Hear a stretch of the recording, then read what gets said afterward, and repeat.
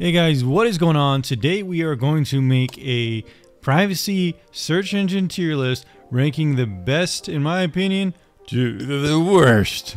This video is sponsored by Surfshark. Surfshark is always my recommended VPN uh, for a user who wants a really good complete VPN package. In my opinion, it probably has one of the best bundled deals out there for VPNs. It's the only VPN I've found that combines a data broker removal tool like Incogni antivirus built in within the application, as well as some other identity protection features like email aliases and data breach alerts. In my test, Surfshark is among the fastest VPNs out there, and yes, I'm one of the only VPN reviewers on YouTube who does live speed tests. It's also one of the best VPNs when it comes to streaming compatibility. I'm also the only reviewer I know that actually painstakingly reviews all the different regions on Netflix, and Outside of that, it's also extremely easy to use and they recently improved the GUI to look really good. Use my link below to let them know I send you as well as to lock in the best available price.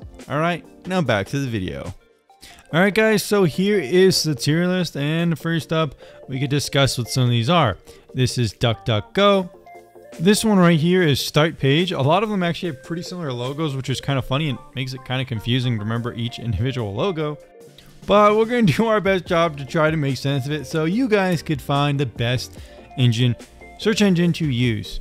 Now, first up, I do kind of want to start right away. I think one of the most interesting ones that I haven't heard of that you guys might want to check out is something called Gibiru. This is what Gibiru likes. The thing I like about Gibiru is that it's been around for a while. It's a private search engine. You can add it to Chrome. And the cool thing about Gibiru is it actually does kind of give you interesting results. It's going to give you interesting results. It's different from Google. It's not going to have things censored and removed like Google does. So it's going to give you more accurate, actual results of what's on the internet. And that's what I like about it, which makes it S tier. It also says that it's faster than Google because it doesn't do all the tracking Google does. Next up, we're going to be talking about Start Page. Now, Start Page is an okay uh, search engine, but honestly, the results here, I'm not a huge fan of them. Um, they don't really give me as good of results as Google. Kind of gives me like different results.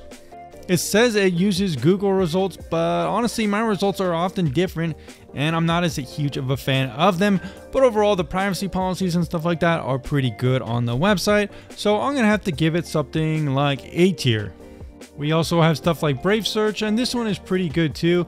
Although I don't really know too many people talking about or, or, using this one specifically, but you can set your default to Brave with this one. It's okay, but honestly, Brave kind of does leave a bad taste in my mouth because they're trying to shove down the VPN down your mouth at every opportunity possible. And you can even see an ad like this on their website, and they even have the VPN installed on your computer, whether you want it or not. And they've gotten a lot of trouble with people about this recently, and yeah, it kind of pisses me off too. So honestly, for that annoying me, um, I'm honestly going to give it a lower ranking. Here it is. I'm probably just going to give it uh, maybe a B tier, just for being perfectly mediocre. Next up, we do have DuckDuckGo, and unfortunately, there was this issue last year where it turned out that DuckDuckGo was giving some information to Microsoft. For some reason, this was like advertised a lot all of a sudden, kind of around this time. Honestly, for those reasons, I might give this one a C tier rating. I went ahead and added Ecosia because I did want to talk about that one as well. Overall, I actually kind of like the results I do get with this one. I find that it's a little bit different results than Google and it's pretty good and doesn't seem to be that censored. Also, it seems like they have a pretty good eco-sustainable mission and I haven't really ever heard anything bad about this one and it's privacy friendly as well, so that's pretty cool. It's interesting to see Ecosia also building out some new features like this AI chat feature, which I haven't played with too much, but it's kind of interesting. Another decent result is Qwant. This is a uh, UEU-based French company um, that is pretty privacy friendly. Um, it kind of has the look and feel of like a browser homepage or something like that. Overall, this is a pretty good one as well. It has a layout that is very, very similar uh, to Google, um, but that might be something you're into. There are some ads here on the side, but they're not really too intrusive. For the purpose of this video, I'm just going to say this logo is Qwant because Honestly, all these logos are starting to look the same. I'm going to give this one maybe a B tier. And also, I forgot it to rate Ecosia. I'm going to give it an A tier because I do like its eco-sustainable mission. The search results are pretty good. And overall, I really do like the interface of that search result. Search Encrypt is actually a pretty good one. It has an extremely minimalist interface. But the nice thing about this one is it has no ads and it's as blank as you could possibly get, which is really nice. Another thing about it is it uses perfect forward secrecy, which means your keys um, can never leak your data. Um, this retrieves results from a different kind of variety of search engines, and the results are pretty good. It has better default privacy than some other competitors out there, like something like DuckDuckGo. So honestly, I'm gonna give this one a pretty good rating. Maybe something like this, just because I like how I'm actually giving it S tier, just because I like how simple it is. Doesn't really have any bullshit on it, and it's just very, very simple.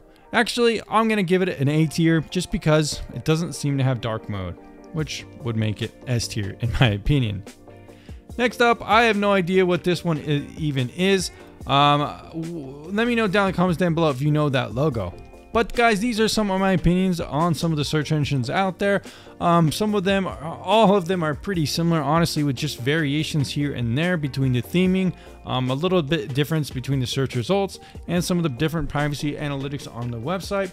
I just kind of wanted to mention some interesting ones out there. Namely, I do like Search Encrypt for its extreme simple functionality.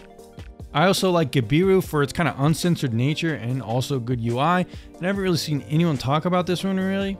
And I do think Ecosia deserves a special shout out for being a pretty good interface, pretty good search results, and a good mission. So that is my final search results here, um, my final results for the search engines. let me know down in the comments down below if you disagree with any of this, and I'll see you in the next video very soon.